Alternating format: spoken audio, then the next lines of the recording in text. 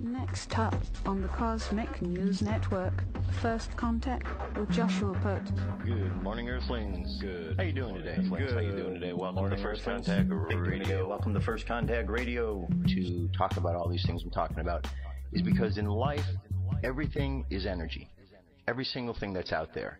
Yo, it's first contact with Joshua Poet. He's the man on the mic, just in case you didn't know it. Covering news from all around the globe, from the weather and space to UFOs. He'll talk politics and make you open your eyes. Conspiracy theories and government lies. He'll dig it all up and try to find the proof. Cause it's time to demand the truth. It's time. First Contact Radio. We have It's time to arrived. First demand the Contact truth. Radio. It's time. First Contact Radio. We have arrived. First the Contact truth. Radio.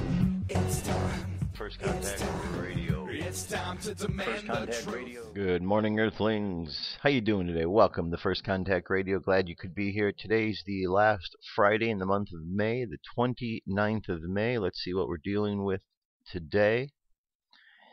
Our sun sign is in Gemini. Our moon sign is in Libra. Gemini and Libra. So let's take a look at what these are. Gemini, as we know, is the tarot card of the lovers. Libra, tarot card of justice. This is an air sign. This is also an air sign. So we have double air today. What do we know about air? Air moves. Air moves. So when there's an air day, it's a day that there's going to be movement, activity taking place. Air in tarot cards is represented by swords. Swords, you take the first letter S away, you left with words. So air, when there's an air sign, you're dealing with words and actions, activities. So that's what today is about. A lot of activity. The activity of Libra is about balance, trying to balance out karma, balance out our lives. And the way we balance it out is by the things we say and the things we do. Whereas Gemini is all about discernment, using our discernment to make proper choices. Proper choices in the relationships we have with ourselves, with others, how we communicate with others. And the key secret to here is that the conscious mind should be looking to the unconscious mind, and the unconscious mind should be looking to the higher self. And if that's the process, the way we go about it, we're going to make good choices because we're deferring to the highest part of ourselves to look at the answers that we need to understand. Okay, so that's what we're dealing with today. Libra for the moon sign and Gemini for the sun sign. The particular aspects we're going to deal with, we just had an aspect uh, with Uranus, Libra and Uranus at 7:17 a.m. and this was like the teeter tot.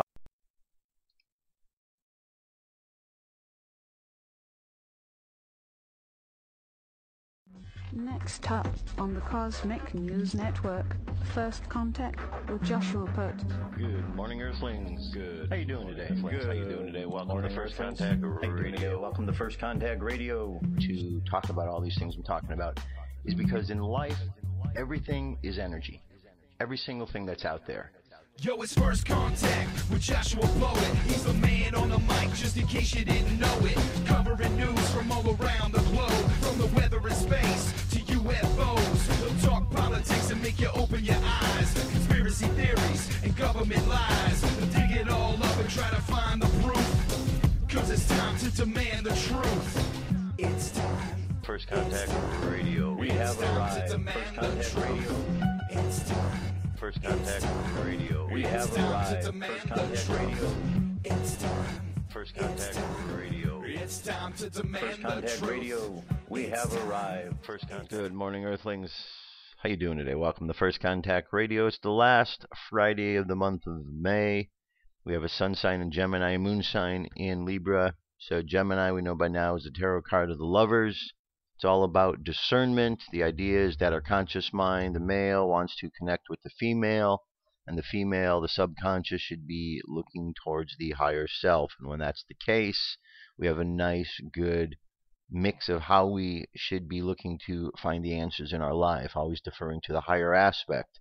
And our moon sign is in Libra. Libra is the tarot card of justice, karmic balance. Libra is an air sign.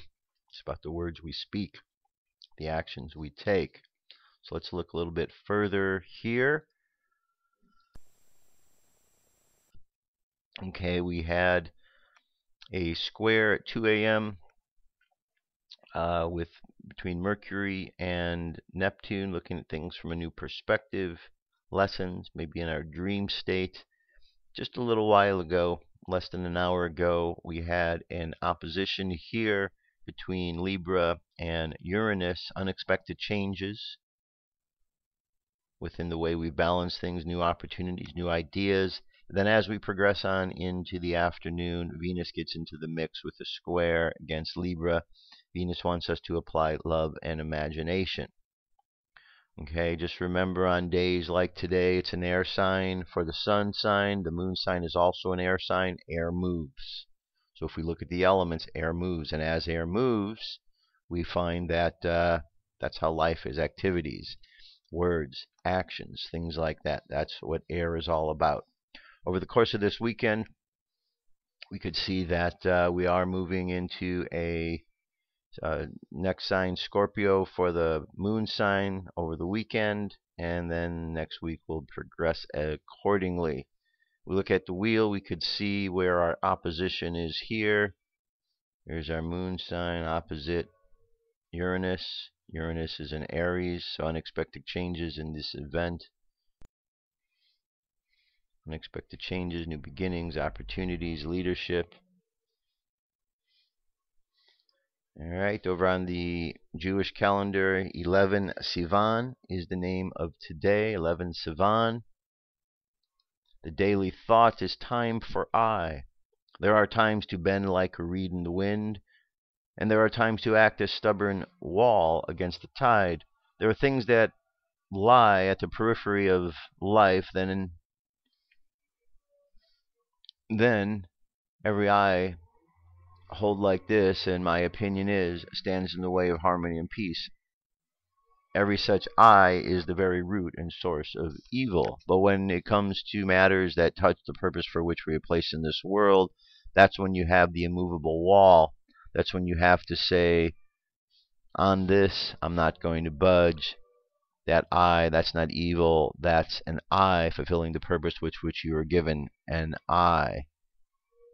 Okay? Current moon phase, 84% of the full, making its way up to a full moon. I know that because it's a waxing moon. We're at space weather, solar winds 387.5 kilometers per second. Planetary K index is in the 2 range, which is quiet. Not much in the way of coronal holes at this moment in time. M class flare possibility at 5. X class at 1. Geomagnetic storm activity Looks like it's 20% in the mid latitudes, high latitudes, uh, 30%. So you might see some activity over the weekend. And of course, looking up at the sky, the 29th, as the stars come out, you'll find that only Spica, only a few degrees to the right of the moon at the time of dusk for North America, the moon draws further away from it through the night. And that is our cosmic weather. UFO news is up next.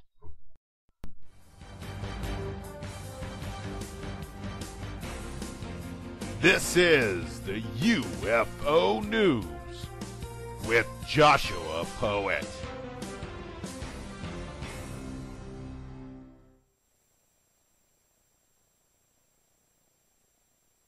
There we go. Thank you very much, Dirk. All right, have a number of sightings here today. The first one here alien ship offers assistance to Apollo 13 crew in NASA photos.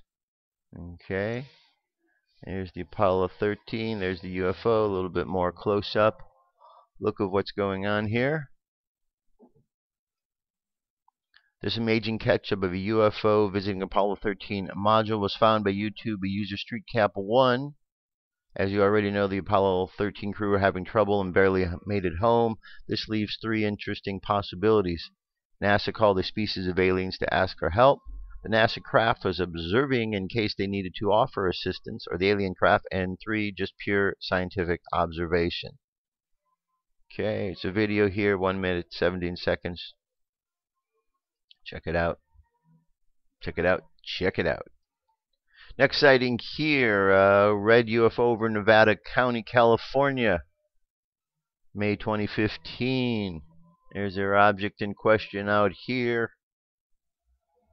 Alright. This is unusual second photo from another pilot, but from an ultralight. I searched and yes, there are ultralight pilots in that area. The photo looks similar to the first and the detail is almost the same. However, on the UFO you can see that it looks like it has more light reflecting on it. The object appears to be facing the pilots at both times with the same side of the UFO looking at them. The tilt is normal. The tilt is necessary for propulsion to move in. According to Bob Lazar, some readers are skeptical, as they should be today. UFO reports are easy to fake. The site itself does have some satire, so caution is noted here. However, if you Google search, you can find either two photos without the UFO in it. Then you have your evidence. I tried and failed. If you find one, leave the URL in the comments below. All right. And this says another pilot has come forward with a photograph revealing a second unidentified flying object over Nevada County. The pilot of the ultralight craft, who had traveled from his hometown of Lodi, California, to visit his Grass Valley girlfriend, snapped this exclusive shot of what appears to be the same red flying object over rural Nevada County. It was on my approach to the Nevada County Air Park, said the ultralight pilot who chose to remain anonymous. When out of the corner of my eye I spotted this red speck, so I maneuvered my craft, about to get a better look at it, it was moving so fast up and down. I've never seen anything like that. I managed to get one picture of it with my iPhone before it disappeared straight up. The aircraft is similar to one spotted over Scotts Flat Lake last week by the pilot of a Cessna 172 based out of Nevada County. That unidentified object appeared to be siphoning large quantities of water out of the lake before also disappearing straight up. This particular UFO did not seem to be doing anything other than flying around erratically fast. Okay? Let's move on to the next sighting. Here in glowing UFO seen over Bitexco Financial Tower, Ho Chi Minh City, Vietnam. Okay, that's a nice good sighting there. Check out this sighting in Vietnam last week. Look carefully at the disc shape when lights added to it. We clearly make out a massive disc. It's no plane or helicopter. This thing we has been seen all over the world, even in Taiwan three weeks ago. Very similar to the UFO seen over a radio station during the same time of the San Diego, California, on May 3rd. And uh, under the Bitexco Tower, one of the group mobile phone users to capture the image at night. Shooting is completed. The team pulled together to dinner. Two cafes opened the phone and reviewing the photos were taken. The whole group was startled to detect a foreign body like UFOs in the left corner just above helipads at Bitexco Tower. Team members had heated arguments about the mysterious object. People say that UFO, who then said it was a toy or filming equipment fly cam. Okay, good images there. That's where it was seen. Pretty good shot. Alright, let's move on to the next one. Here we have a cloud seen over Brunico, Italy, May 26th. It's well known where it was coming from, the direction it's going. Okay, let's move on. Triangle UFO over Seattle, Washington, May 25th. I just received this report from our reader. Apparently, this triangle UFO is hovering above Seattle, coastal city, and the seat of King County in the U.S. state of Washington. It was filmed from a car Monday, May 25th. Okay. Very interesting. Nice good triangle. Alright. I'm going to leave, go on to the next story. UFO activity over a volcano in Colima. There's our volcano. Okay.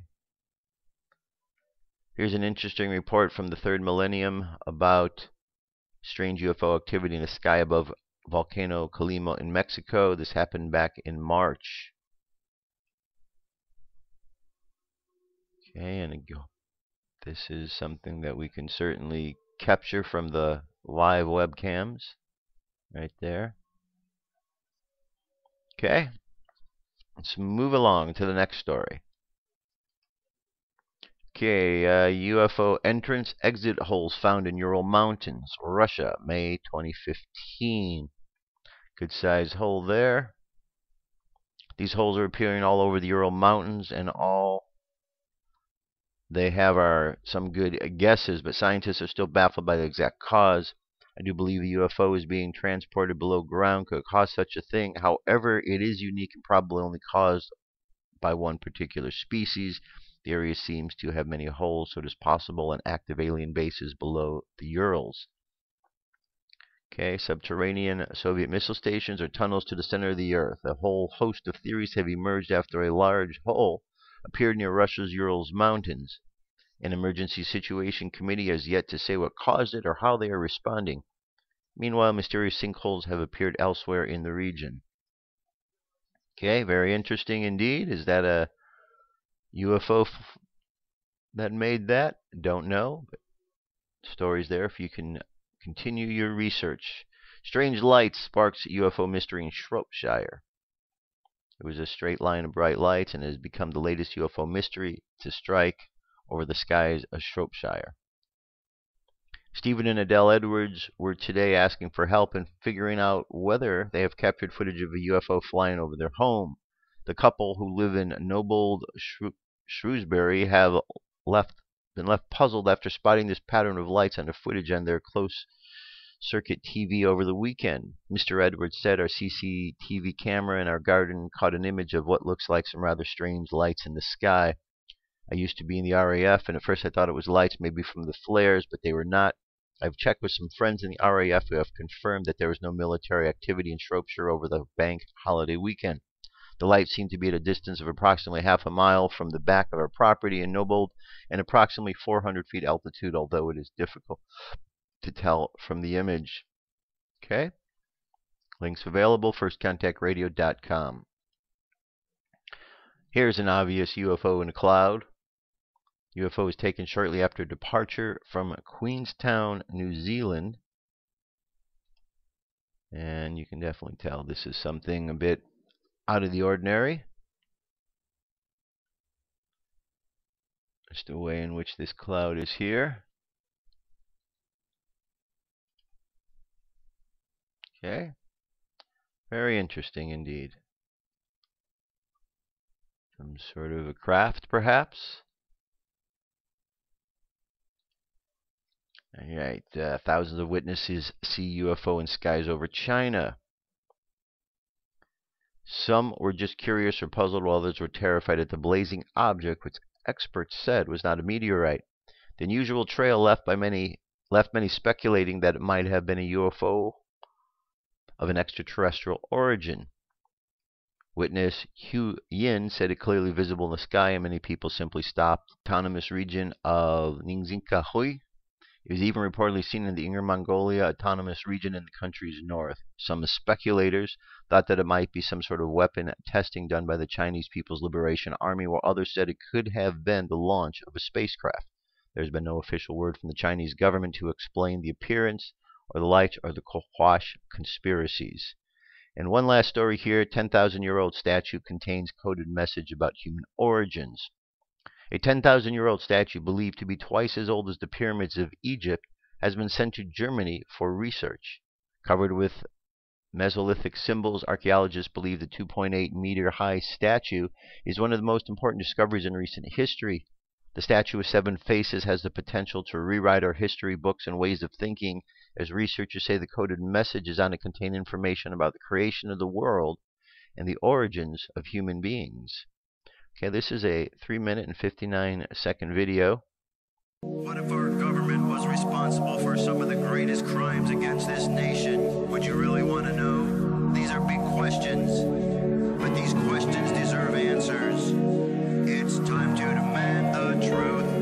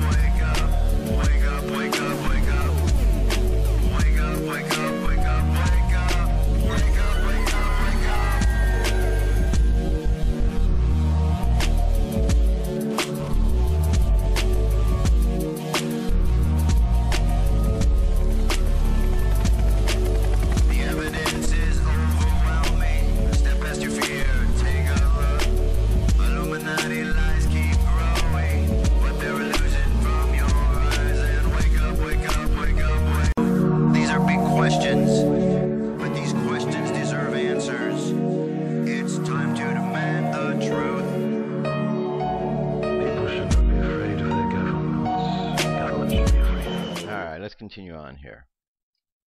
Having a few technical glitches here. I don't know if you're aware of them out there, but having a few here. So this is the last day in the studio here. I've been here for a few years, and uh, today is moving on to the next location. So uh, the show will be down probably for maybe a week while I go through the relocating process.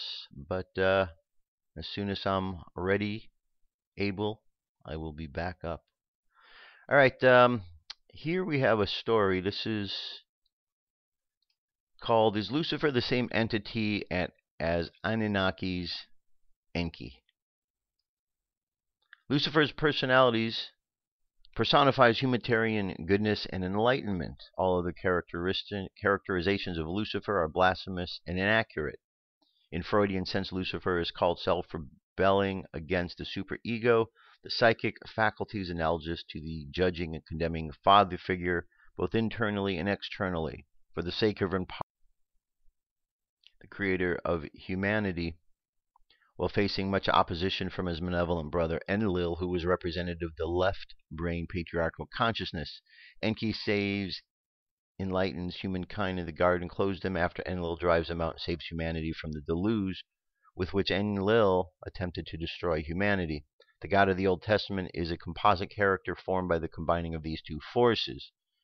Good and evil must exist in an interlocked package. One is defined by the existence and in the Nag Hammadi library, we went over the Apocryphon of John and just a brief summary of what went on in there. What we have is a story where Jesus, after his resurrection, he spent 40 days back on earth.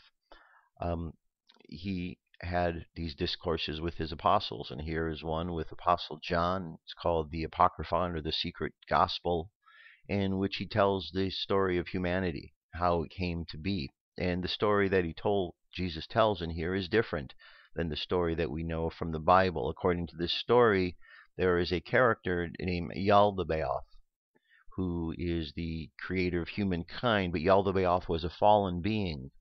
He was considered the the error, and he went and he created this reality and then later when he found out that there was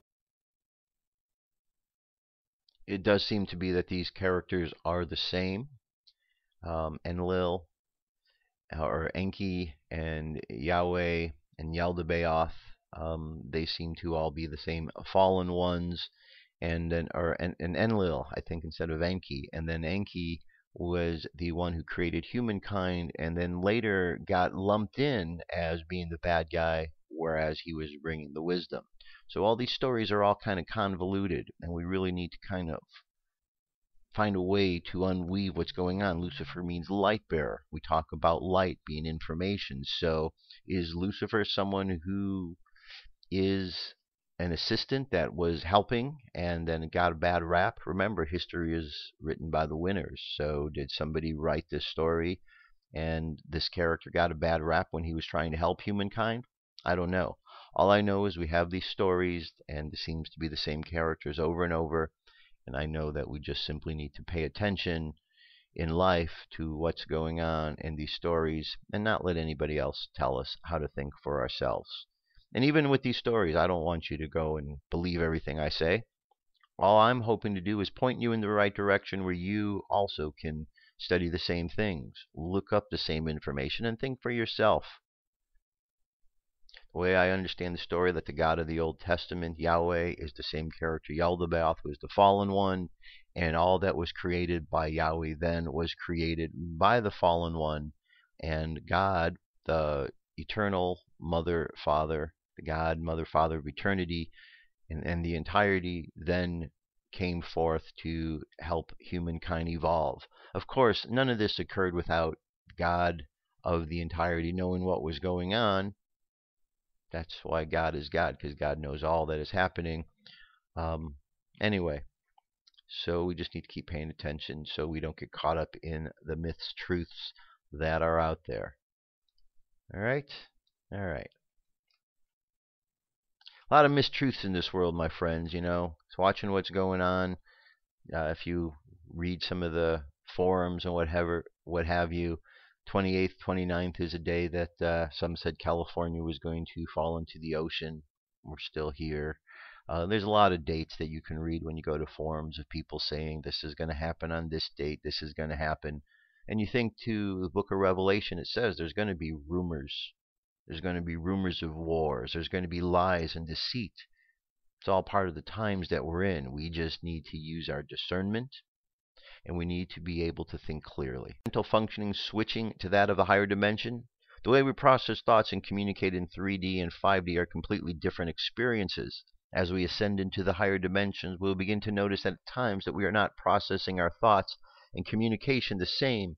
In 3D, we use words that have definitions to communicate with each other. In the higher realms, there's a lot more perception involved. I would like to share with you my personal experience Sometimes I find myself seeing, feeling, and experiencing my reality in 3D in 5D perspective.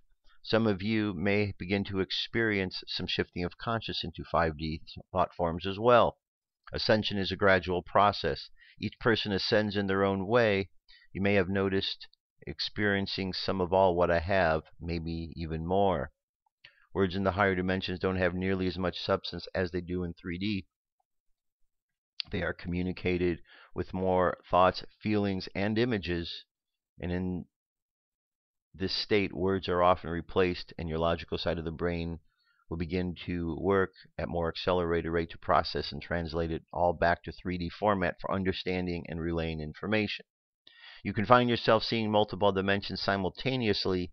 This includes but is not limited to coexisting in more than one place at a time while you're in this reality. You function more in a knowing. Answers just begin to flood in from multiple places. These aren't necessarily in the 3D thought form. At first, your mind will work harder to understand the process, this information into a 3D thought form. Your movements can be more like that of a dreamlike state. You can move around going. You may also notice that you start actually talking with your eyes could appear to wander and roll around. The eye contact with people just falls away when talking to people. From a 3D view, it appears that you are off your rocker. However, this is furthest from the truth. There is nothing wrong with you. Your thought process is shifting into that of higher dimensions. It says now I've decided, last paragraph, I decided to come out of the closet and share my experiences. I've been working with this in private. I don't have much control over it. I used to have toxins such as a few puffs of a cigarette to bring me down in a more controllable state.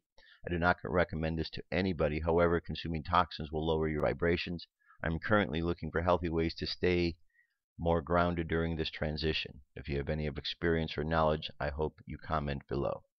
Okay, so nice, good article. Just asked a question because we are going through a process. We want to know if we are making changes accordingly, moving with the changes that are around us. So it's good to know. All right, here is the council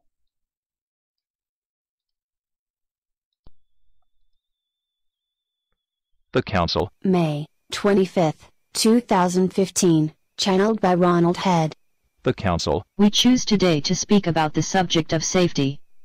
And so, naturally, we shall begin by taking a look at fear. Fear is one of your biggest obstacles. For many it is a constant companion. It is, in the final analysis, a lack of faith in oneself, in one's future, and a lack of understanding and faith in the universe itself. You say that you believe there is no death, yet you fear death.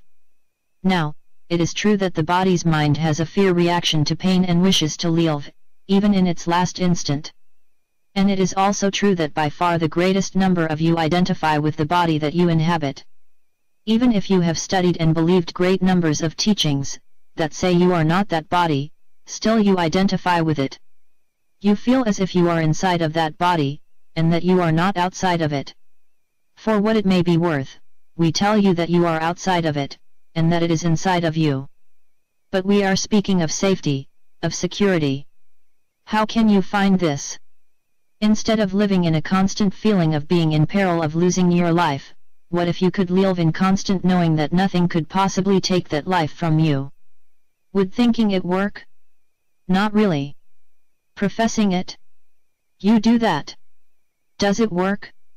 Not really. Blind faith? Doesn't seem to work so well, does it?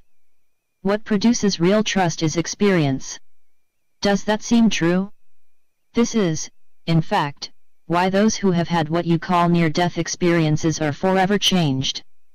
So let's all run out and have one of those. Please do not try this at home. Now if you could experience the memories of having lived several times before, if you could experience the memory of being outside of your body, and still being here to tell about it, would that help? Of course it would. Isn't that a great part of what happens to those you call adepts in many of what you call spiritual practices? And once one experiences these things, a great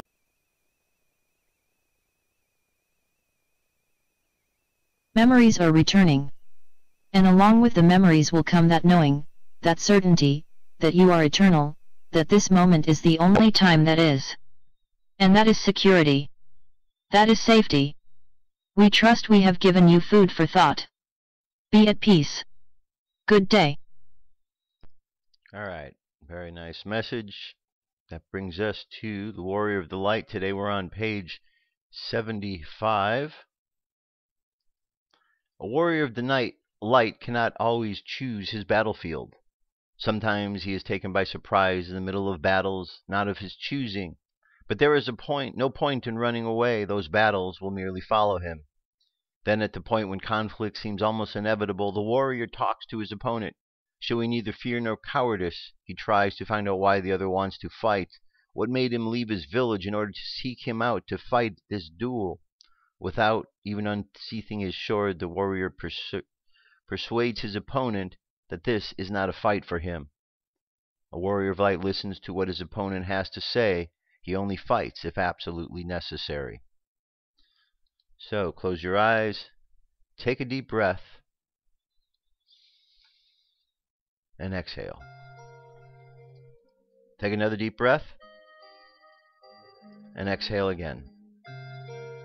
And another breath, and exhale. Let's just imagine ourselves walking along the path of life. All of our chakras are activated from the bottom of the spine up red, orange at the belly button, yellow below the rib cage, green at the heart, blue at the throat, indigo at the third eye, violet at the crown chakra, and the light continues on. Imagine your being, your entire body filled with this light. And imagine this light expanding out to fill the space where you are at this moment, this room where you are in. And then see the light expanding outward from the room into the city, and from the city into the state, and from the state to the country, and from the country all around the world.